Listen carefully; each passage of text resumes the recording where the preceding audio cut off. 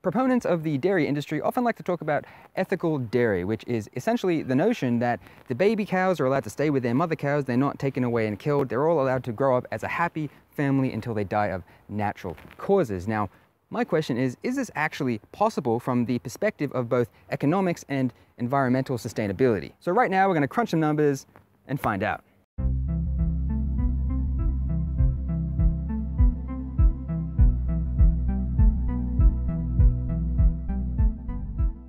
The National Herd Improvement Association of Australia states that dairy cows are impregnated to produce milk, and they even offer a manual on how to do this. The Dairy Australia website also states that this is the case, adding that cows will give birth every 12 months. According to Alberta Milk, dairy cows live for approximately five years before they are sent to the slaughterhouse and begin giving birth after they turn two. This means that we're looking at approximately two to four babies being born for every currently existing dairy cow. Now taking these numbers into account, let's see if it's actually possible to allow these families of cows to grow old until they die of natural causes. Let's say we have a small dairy farm with just 10 cows. As we said, each dairy cow will give birth to two to four calves before they are killed. Now obviously this is a happy ethical dairy farm so they don't kill their mother cows. Let's just say after the cows turn five, they simply stop impregnating them, stop taking their milk and allow them to live out their lives on the paddocks as nature intended. To be conservative, let's say that each dairy cow only gives gives birth to two calves each. Let's say that 50% of these babies are males and 50% are females. This means, assuming we begin from when the original cows were two years old,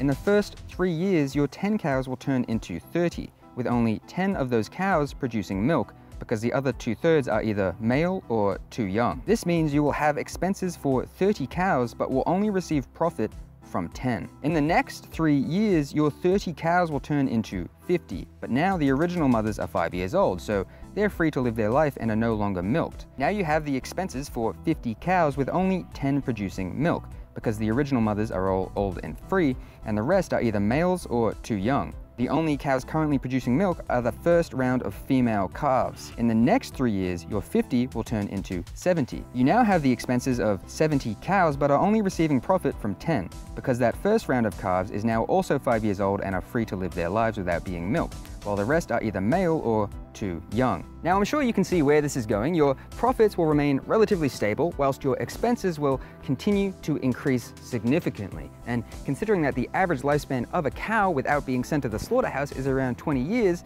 the expansion of your dairy farm will look something like this.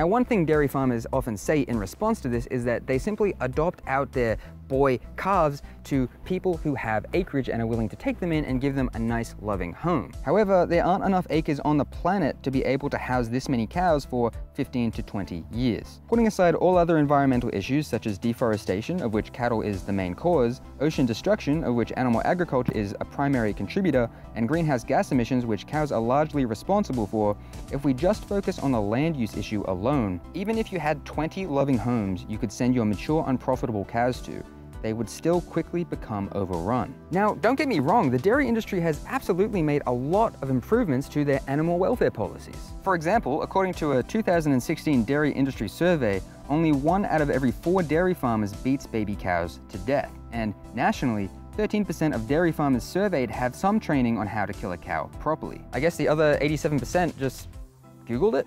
No matter what the dairy industry does, there's just no escaping the reality that allowing all of these cows to live out their entire natural lifespans on acreage is not an economic or an environmental possibility. And this is why it's standard industry practice within the dairy industry to take away the baby boys and kill them, and then also kill the mothers when they stop producing enough milk. So, does ethical dairy exist? No. There will always be cows who have their lives unnecessarily taken from them, whether that be at the slaughterhouse with a knife or at the farm with a sledgehammer or a gun to the back of the head. But, I mean, hey, the good news is that oat milk is pretty dope and we could always just, you know, buy that instead. Wink, wink, and also nudges and also um, maybe just little sneaky sneaky just buy that instead. Yeah, you get it. You, you, know what I'm saying. All right, so that's the video for today, and I don't expect you to take my words as God's gospel and just take it all on without doing any kind of research. Take what I say with a grain of salt, go away and do your own research, because the truth is, I know what you'll find. It's literally on the dairy industry's website. Just go on Google and type in, what happens to baby cows in the dairy industry? Do they kill cows for milk? Yeah, stuff's pretty easy to find if you want to. So, that's it. Have a beautiful day and, you know, the whole oat milk thing instead. Catch ya.